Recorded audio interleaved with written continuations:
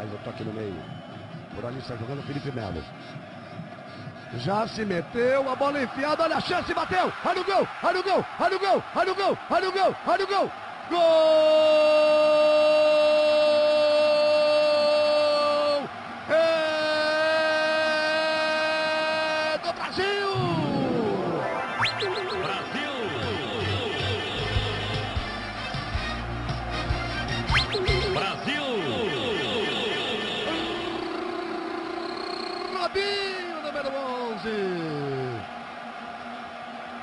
Antes dos 10 minutos do primeiro tempo, que enfiada de bola, amigo.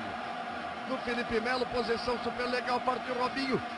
Deu um tapa na bola de primeira. Nem ajeitou quando o Stekelenburg quis sair. Já era. Um Brasil. Zero Holanda, melhor impossível no começo do jogo. Valeu, Robinho. O futebol sul-americano se representou assim. São quatro partidas de quartas de final, um time sul-americano em cada uma delas. E o Brasil sai à frente. Volto a dizer que me impressionou a forma que o Robinho bateu na bola. Juiz, olha. O juiz botou a mão no peito para tirar o cartão e lembrou. Hum, esse já tem. Aí lançamento para área! Gol! Da Holanda! No cruzamento na área, o que é o forte do jogo brasileiro no ataque não aconteceu. O Júlio saiu, não baixou. Você vê no replay como a bola vem lá da direita. O Reiting e o Warrior vão subir por ali. E a bola passou direto. O lançamento do Snyder que veio lá da direita. E se alguém tocou na bola foi jogador brasileiro. Olha lá. O Júlio César foi no lance.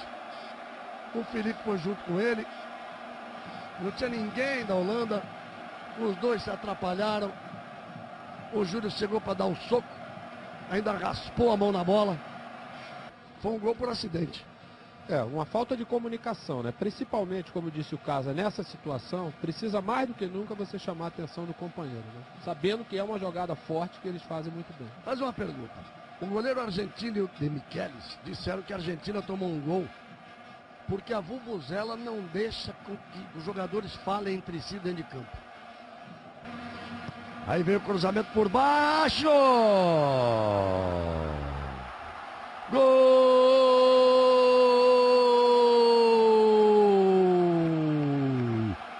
Da Holanda. Snyder, número 10.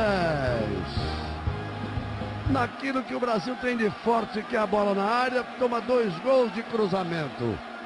O primeiro vem direto. O segundo no escanteio, a bola tocada para trás. A bola batida no primeiro pau. Tocada para trás.